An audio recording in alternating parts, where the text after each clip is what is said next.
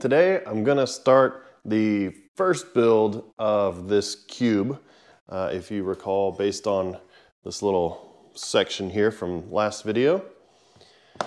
So I've got all this aluminum cut. I have uh, a blade on my miter saw here that's made for aluminum. Uh, it's still pretty darn messy. So um, just be prepared for that. Glasses, earplugs, probably a, mask as well. It creates a lot of aluminum dust.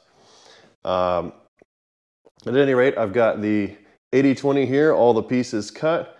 I have my corner brackets, the panel mounts, the T-nuts with the half inch length bolts, T-nuts with the 3 8 inch length bolts, and some quarter 20 feet so that I have some nylon feet underneath this thing when it sits on the floor in the house.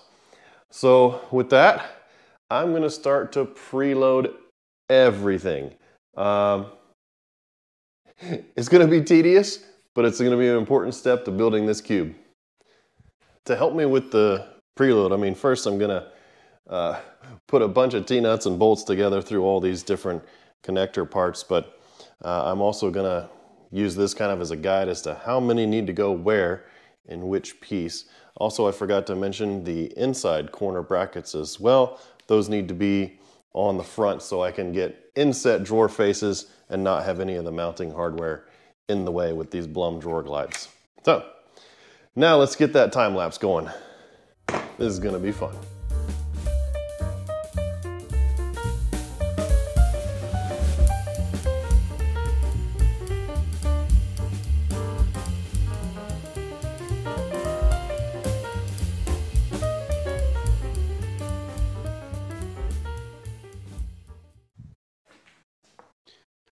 So that took about 10 minutes. And as you can see, uh, I had to actually use my tool to help thread some of these on. They were pretty tight. And note that, uh, hopefully you can see this, that has the, uh, the little flange, I suppose, towards the inside. So towards the inside of the T-slot on the 80-20. That's how you want to put those on there. And that's just the corner brackets. Now I have to count how many panel brackets. I know I'm going to have four on that side, four on the back, four on this side. It's 12, four on the top, 16. So I have some extras, but now I need to do 16 of these. And uh, another thing to note, these uh, the corner brackets are using the half inch bolts. The panel brackets are a little bit more thin, so they'll be using the 3 8 inch length quarter 20 bolts. And also the Blum drawer glides here, they don't fit a quarter 20 bolt. I mean, it's so close. And uh, drill that out, it, like I said, it's just the tiniest bit. And then because of the depth and the thickness of the Blum drawer glide here, that's also the 3 8 inch length bolt. Uh, also, for example, um, on the bottom of the four corners, uh, this 80-20 is not tapped.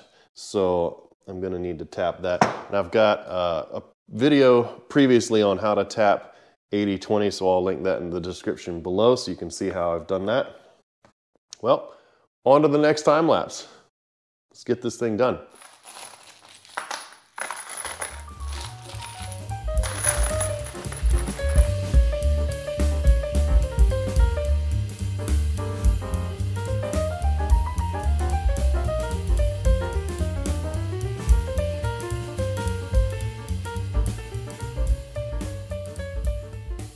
Okay, that was five minutes. So much faster makes about makes sense. It was half the number of T-nuts, just one for each of the panel brackets and 16 of these versus 20 of these. So next I'm gonna move over to the four legs and I'm gonna tap what will be the bottom of them for quarter 20 threading.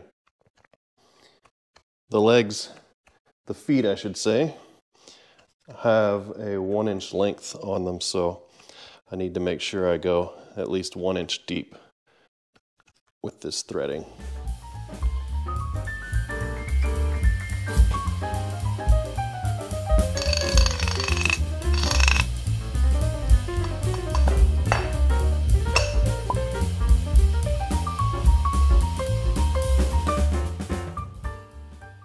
Tapping on it with your metal actually puts little marks on your 8020. So don't do that. Uh, tap it with something else. Maybe the back of this handle. And also another note, uh, if, you, if you know all your lengths in advance, precisely what you need, you can order from 8020 and include the tapping so that you're not doing this yourself.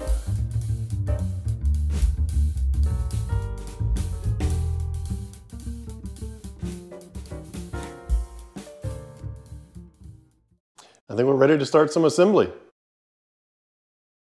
Yeah. Are you?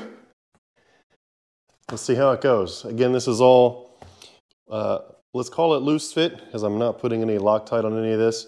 Uh, I want to put it all together and that's going to be enough for me to get my measurements for my drawer boxes and we'll move on to that probably next week. Yep. Let's get to it.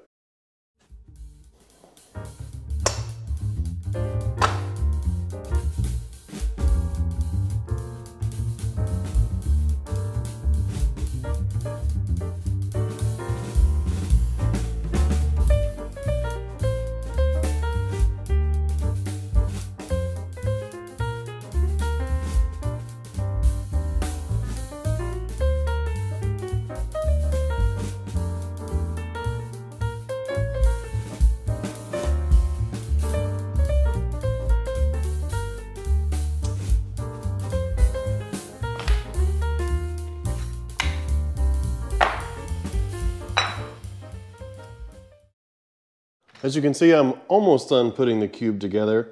Uh, the clamp and the scrap piece is nice to help you square this up. Uh, things to remember, preloading these T-nuts that have to be in here on both sides of each of these so that I have the attachment point for the Blum drawer glides. The panel mounts on the bottom, the panel mounts on the top, for that's the side. Again, the panel mounts here. The panel mounts here for the top piece, panel mounts here for the top piece.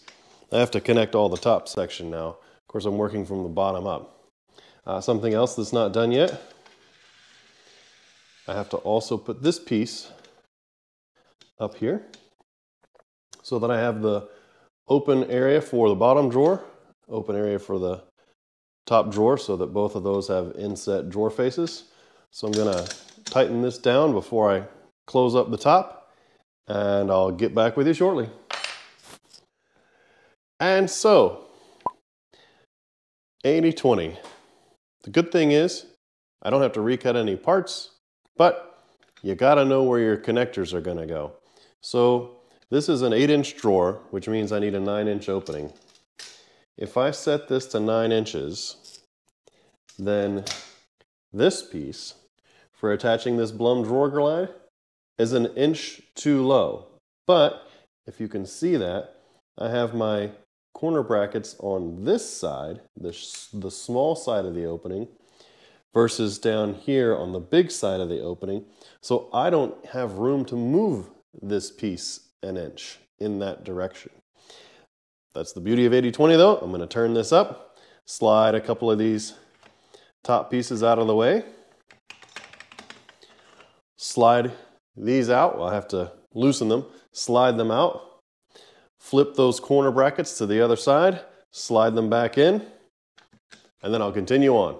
So, order, placement, all important factors when you're working with 80-20. Okay, I just want to show you just how easy this is now that I have it turned upright. I'm going to slide this piece out, flip it over, and remember, I need to make sure I preload my T-nuts for the uh, drawer glide. I'm going to feed those in.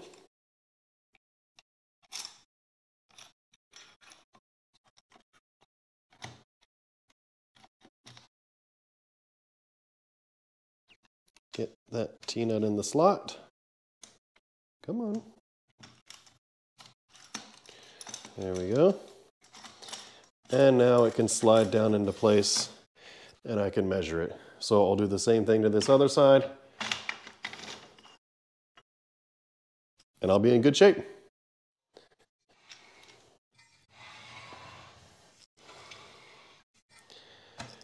As you can maybe see, I have constructed almost all of this except the last drawer glide from Blum. So I drilled out the third hole and the middle hole here in the back. And it, I mean, it was like a 64th too small for a quarter 20 um, thread. So that's why I had to drill that out. What I wanted to show you what it was like to install this in here. Of course, I preloaded my T-nuts. I'm just going to get them in a pretty close spot. A little bit awkward doing it for you so you can see it on the camera. And I'm going to line that up. That one's pretty darn close.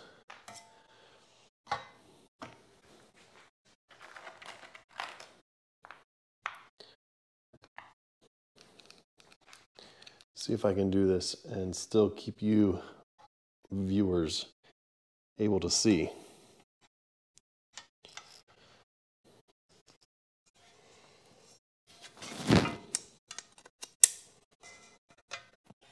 So what I'm attempting to do is to catch that thread, and I did.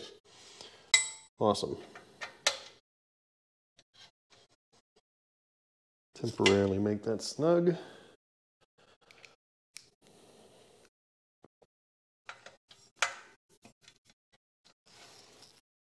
Okay. Let's get this next one.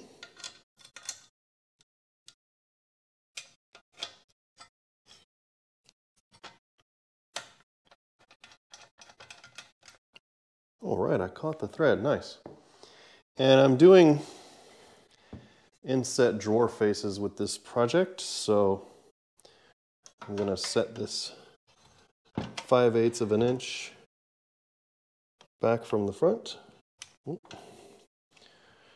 give them just a little bit of room here.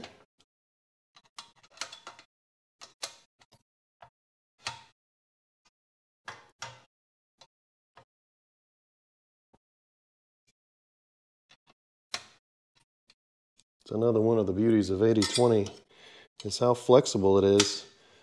If I, if I were screwing that into wood, I would have to be absolutely right the first time. Tighten that down a little bit more. And real quick, what I meant by inset drawer faces. Some drawers are outside on the face like this when they close. These will be inset, so you'll be able to see the frame. Now, if this was in my van, I would use some 80-20 with a smooth front here. Uh, but this is just spare stuff I had laying around, so don't care. Uh, but uh, yeah, I'm doing a 5 8 inch inset drawer, drawer front. Uh, I'm going to be using some African mahogany. So we'll get to that. I'll do the drawer box, um, drawer box building and uh, actually have to learn how to square up a board that's not already squared uh, for that African mahogany. So until then, we'll see you on the next one.